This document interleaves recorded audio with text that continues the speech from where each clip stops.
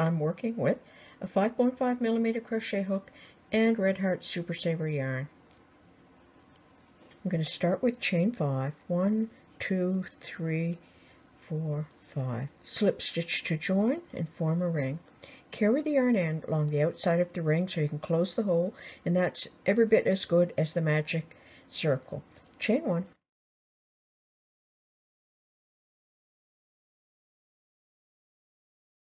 To make a single crochet, insert the hook, pick up the yarn and pull it through, pick up the yarn, pull it through two loops.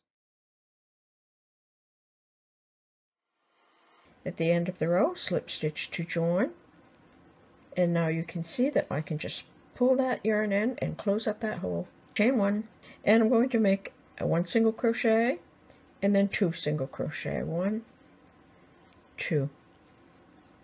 One single crochet, two single crochet. One. Two.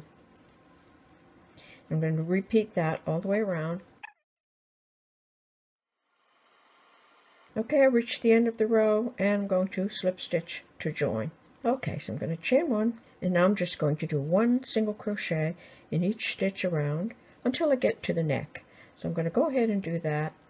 I'm going to do this first row. I'm going to work all the way across going to work all the way around.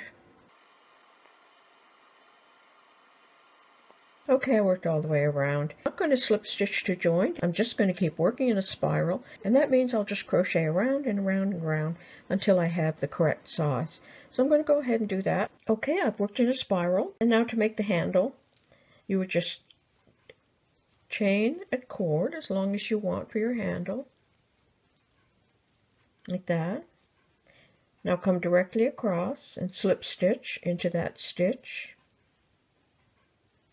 Now slip stitch into the next stitch, chain one, and then single crochet all the way around to the other side.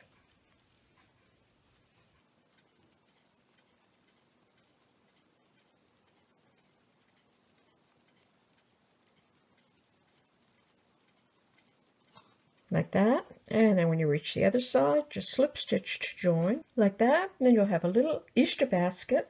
And then you can put a boiled egg or some little treats in it